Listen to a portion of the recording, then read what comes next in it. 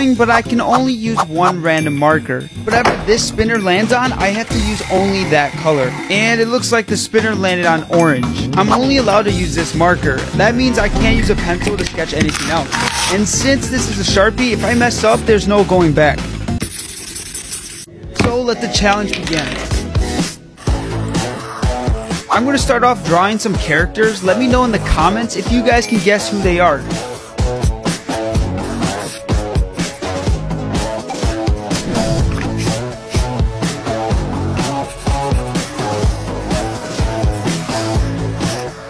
Okay, for this last one, I'm to draw my own characters, so let me know if you guys like how it turned out.